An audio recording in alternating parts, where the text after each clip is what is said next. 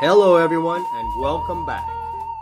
I need a high powered dummy load to test some audio amplifiers that I've worked on. I want it to be as simple as possible and most importantly low cost. First, I bought 8 of these 100 watt 8 ohm resistors that I found on AliExpress. I also ordered 2 heat sinks from Amazon. Links to everything including the tools that I've used will be listed in the description below. First order of business was measuring the resistors and its bolt holes. I then laid them out on the heatsink and marked where the holes are supposed to be. Then I used an optical center punch to exactly mark where it has to be drilled.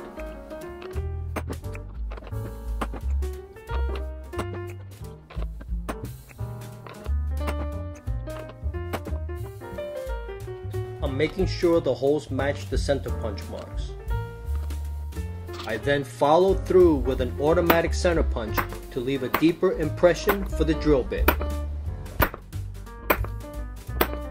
I got a tap and drill set from Amazon which includes a number 43 drill bit and a 440 NC tap. I drilled out the holes to mount the resistors using a bit of Tap Magic cutting fluid which I'll eventually show later. After drilling the holes, I used a deburring chamfer tool prior to tapping. I gotta clean up this mess. You don't want to catch one of these aluminum chips under your skin. Here is the 440 NC tap. I'm going to use an AliExpress ratcheting tap wrench without the handle because this tap is extremely small. Sorry, but here's the Tap Magic cutting fluid I've been using for any drilling or tapping operation.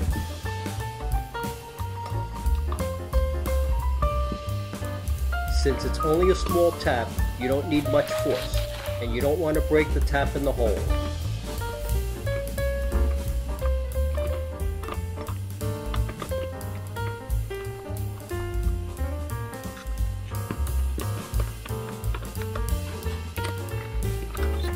For those who have a hard time drilling and tapping a perpendicular hole, get these Big Gator drill and tap guides. They're awesome. Nothing was sponsored in this video. I bought everything with my own money.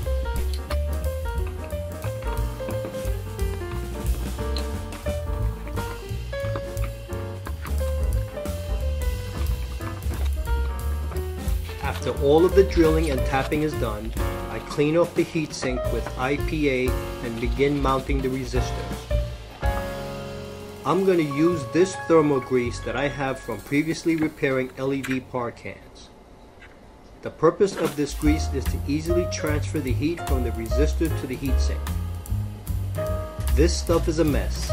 It's hard to clean off. Make sure you have gloves and keep towels nearby.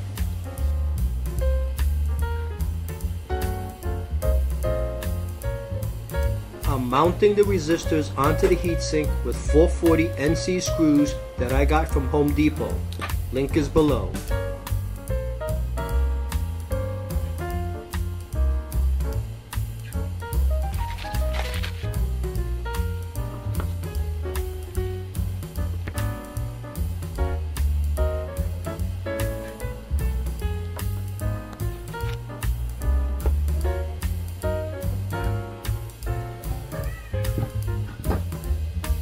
Here it is, one of the dummy loads completely assembled. Now I'm going to make the second one off camera. So now I have a pair of them, one for the left channel and one for the right channel so I could run both channels of the amp simultaneously.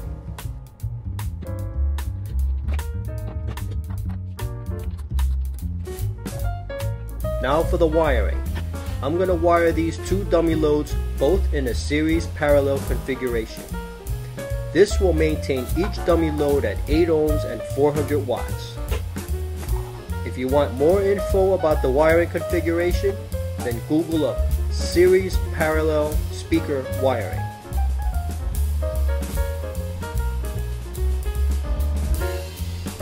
I'm using leftover 16 gauge speaker wire for now. I'll replace it with 12 gauge cable and banana plugs in the future.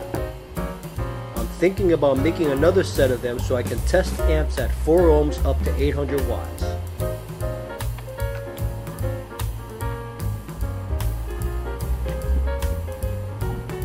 I can easily clip on oscilloscope probes the way it is right now. Here is a multimeter test of each dummy load. As you can see, the 16 gauge wire adds a bit of resistance. When probed directly at the terminals, it's close to 8 ohms. I plan to use these dummy loads for a tutorial video on how to set limiter settings on an amplifier with built-in DSP processing. Please like and subscribe so you don't miss out on my future videos.